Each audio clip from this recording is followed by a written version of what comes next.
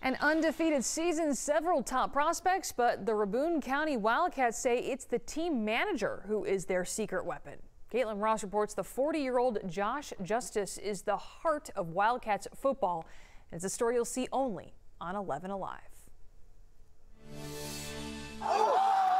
The manager of the Rabun Wildcats football team looks the part. In his Wildcat jersey, Josh Justus is just one of the guys. They love me.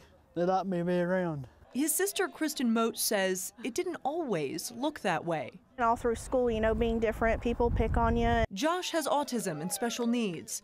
When he graduated in 2002, he had never stepped foot on the football field. He did not like school. He did not like school. He never wanted to go. He did not like school. Dad! That all changed a year after graduation when he was invited to check out a practice. Every time those doors open, Josh is here.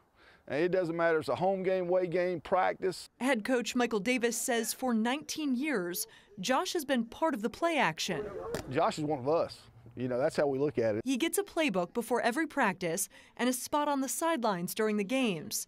But there's one thing Josh never had. We just got denied and kept saying, no, we can't because he didn't letter. Josh couldn't get a letterman's jacket. If anybody gets a letter jacket, I think he deserved it for 19 years of coming to almost every single football game. The team thought so too. The assistant coach surprised him after a big win this season.